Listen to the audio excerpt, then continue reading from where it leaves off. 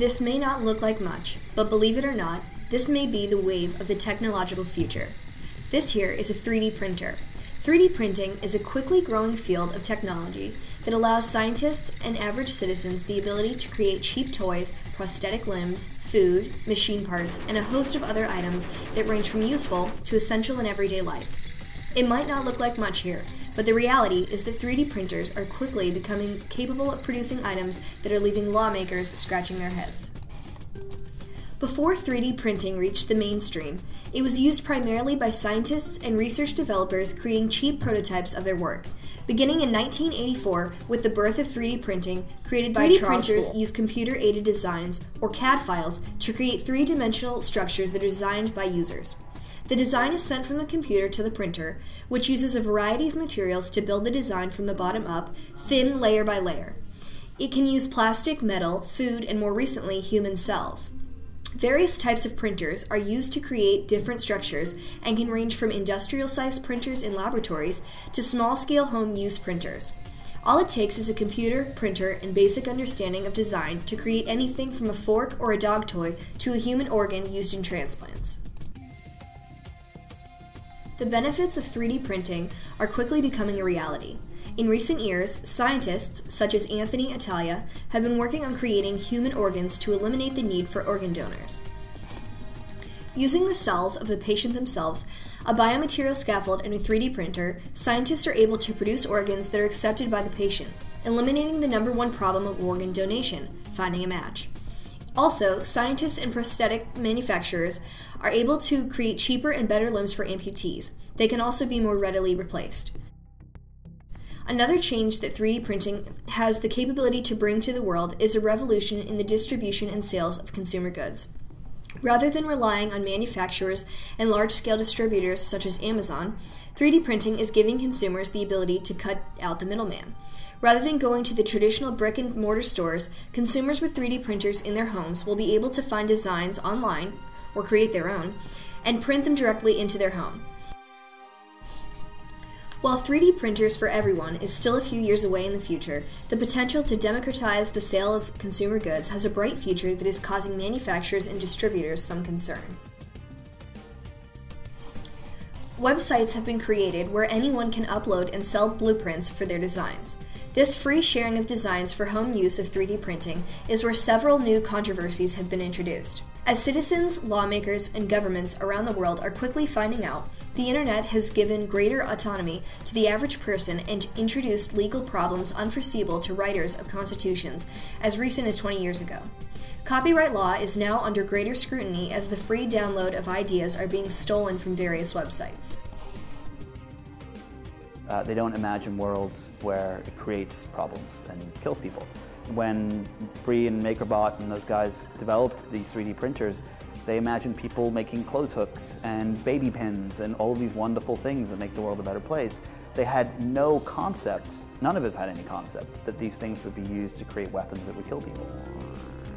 However, most notably, there is a field of 3D printing that has added a new layer to an already highly volatile, emotional, and constantly unresolved argument that leaves Americans constantly divided guns and freedom.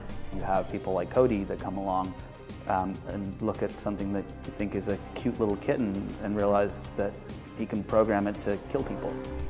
This is Cody Wilson, a 25 year old law student at the University of Texas and founder of the nonprofit organization Defense Distributed.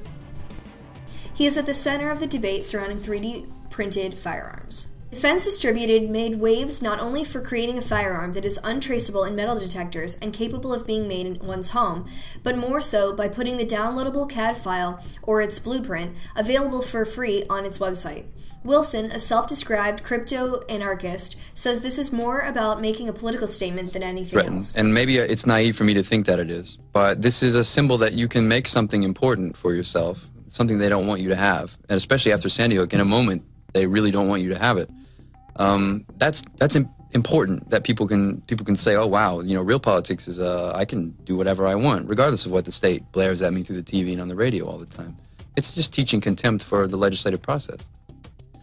Joe Biden, this is no country for old men.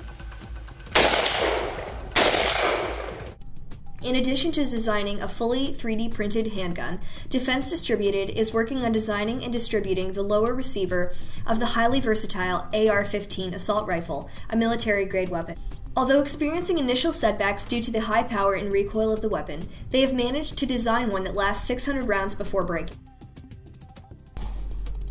Currently, although harmless on its own, the lower receiver is what is considered by law to be a gun, and therefore what is regulated when distributed.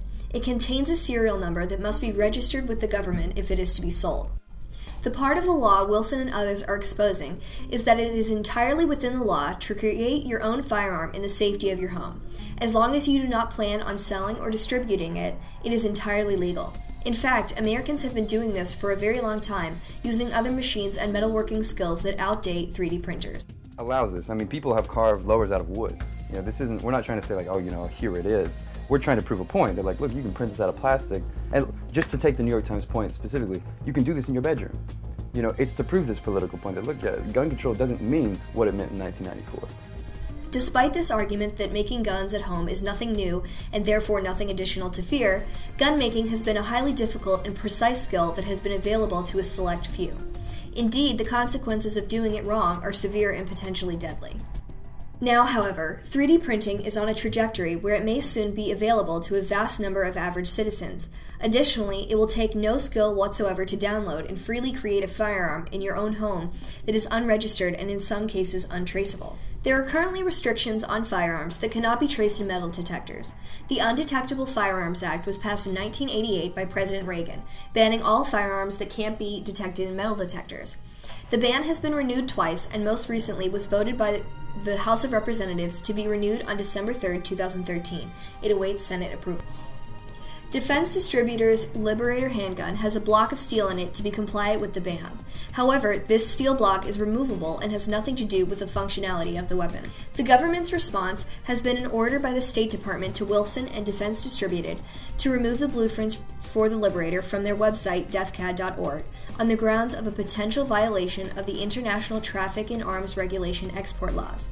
The group was also demanded to remove several other weapons accessories, such as silencers, extended magazines, and other tactical weapon upgrades. They've been actually discussing what is legal and what is not. This was an entirely new thing. They knew that it was illegal to own this part for a gun without having it registered and so on. But when you can make the part for the gun, that you know changes the whole course of the conversation. For Wilson and many others, this is more than just adding another dimension to the gun debate. It is a promotion of his political views and trying to show how anarchy is the natural state of humanity. He is a political figure, and 3D printers are his method of showing how his beliefs can be realities. His argument shows that while this new and fascinating technology has the potential to save lives and improve the quality of living, there is no true way to regulate the human condition. There are always people who want to help humanity and others who want to take advantage of anything they can. Some men just want to watch the world burn.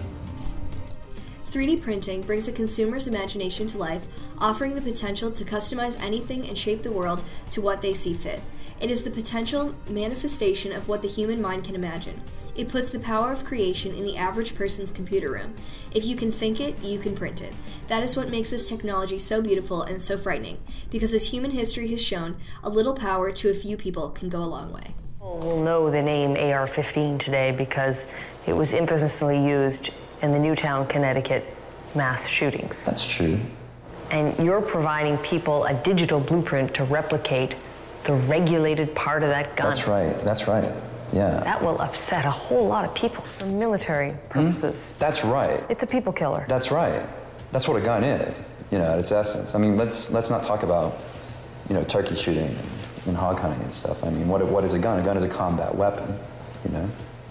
And you want to give people a file to build one. That's right. Yeah.